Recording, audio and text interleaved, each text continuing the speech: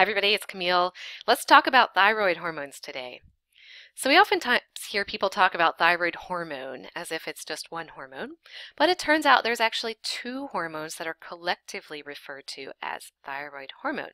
That those would be T3 and T4. So T3 is triiodothyronine and T4 is thyroxine. They're both produced by the thyroid gland in the neck, and they have similar actions, but they're not quite the same. We'll talk about that in a minute. So I want to talk to you about how we regulate thyroid hormone levels to start out with. This is a classic negative feedback system. So if you're familiar with those, this should be old hat. When thyroid hormone levels get a little bit low in the blood, the hypothalamus and the anterior pituitary detect that and say, hmm, I think we need to stimulate the thyroid gland to produce a little bit more thyroid hormone. Without thyroid hormone, we die, so it's very important that we regulate it pretty carefully. So the hypothalamus produces thyrotropin releasing hormone, which travels just via a portal vein, so just from one capillary bed to another, a teeny, teeny distance into the anterior pituitary gland, and that TRH stimulates thyrotropes in that pituitary gland to make thyroid stimulating hormone, or TSH. TSH is released into the systemic circulation, meaning you can measure it in a blood test. And from there, it goes to the thyroid gland and stimulates the production of T3 and T4. As levels go up, the hypothalamus and the anterior pituitary detect that and they can downregulate TRH and TSH production so that you're not continually stimulating the thyroid gland and you just find this happy medium where thyroid hormone levels go a little up and a little down and they're regulated in this way. Once T3 and T4 are released into the blood, they are well, they're always fat soluble. And in the blood, if they are not bound to a protein, they wouldn't last very long. They would just diffuse out of the bloodstream or they would get excreted by the kidneys. So in order to prevent that from happening, they travel via taxi, which is a proteins.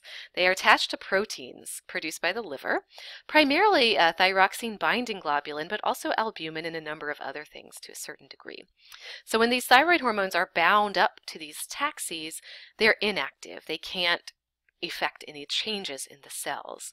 Um, so there's a very small fraction of T3 and T4 that will be free. And that is the part, that's those are the hormones that can actually cause change in the tissue.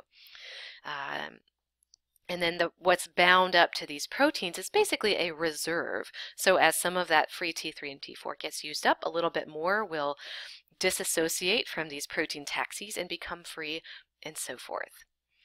Now, the next question you may have is what are they actually doing when they, when they do effect change? And uh, T3 is our more active hormone. Uh, they both can they both can affect these changes, but primarily T3 it's at least four times as active as T4, if not more, depending on what studies you're looking at. Um, so these hormones, when they're free, they can come into the cells. Pretty much any cell has a thyroid thyroid hormone receptors on the nucleus, and they bind to these receptors and essentially put the pedal to the metal. They activate the gas pedal in the cells. So anything that that cell does, it's going to do it more under the influence of thyroid hormone. So um, they increase metabolic activity by increasing glucose oxidation, stimulate carbohydrate and fat metabolism, increase the number of mitochondria, increase the number of adrenergic receptors on blood vessels, which, if you remember correctly, um, is involved in blood pressure regulation, and so forth. Now, the next question that I want to answer for you is how we make thyroid hormone. And I think this is a really interesting process. So thyroid hormone is produced in the thyroid gland. And the thyroid gland is in the neck and it's made up of a bunch of thyroid follicles. So it's basically these thyroid cells surrounding a little glob of colloid. And there's all these different follicles throughout the thyroid gland. So these blue cells here are thyroid cells, and then the red circle is a cross section of a blood vessel. In order to make thyroid hormone, you need iodine. And you get that from your diet, hopefully. so we eat foods that are iodine rich. The iodine is transported as iodide in the blood. And the thyroid cells actively recruit, they actively pull in that iodide. Via this sodium iodide symporter or the NIS, you'll sometimes see it called.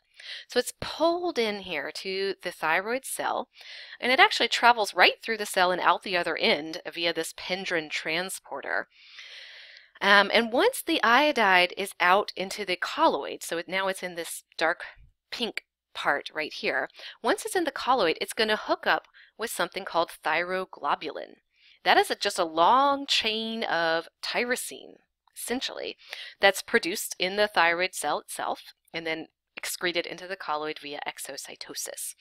So you have all of these, each one of these little um, things here is a tyrosine residue.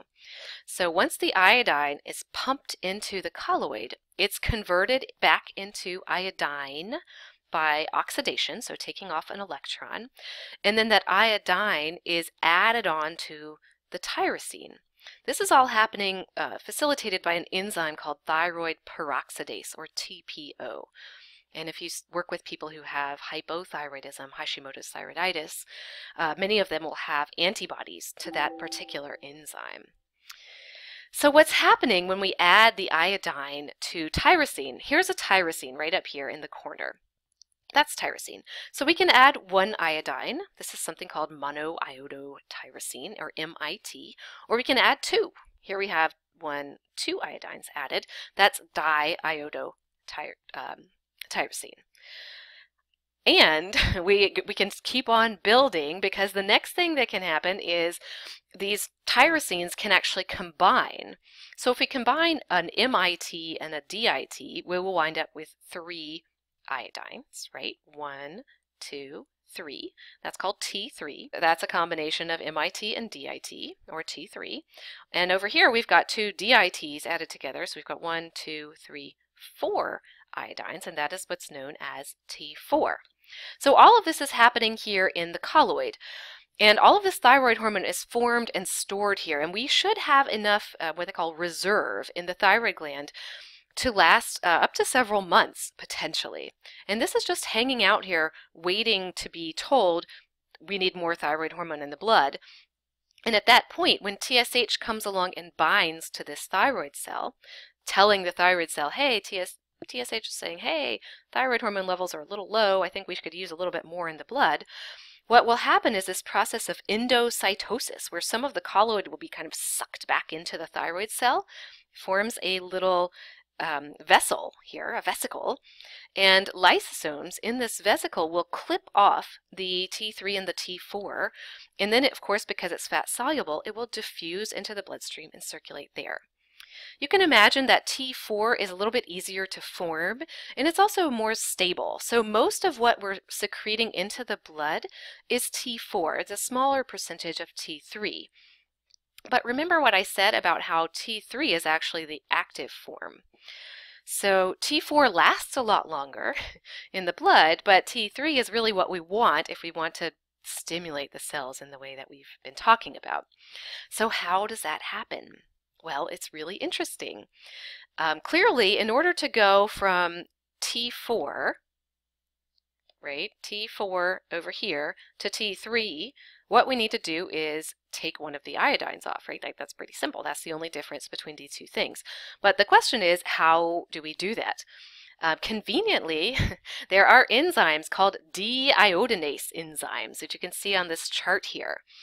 And these deiodinase enzymes are actually produced by the target cells, the tissues themselves, where these thyroid hormones take effect. For the most part, there are some exceptions to that rule.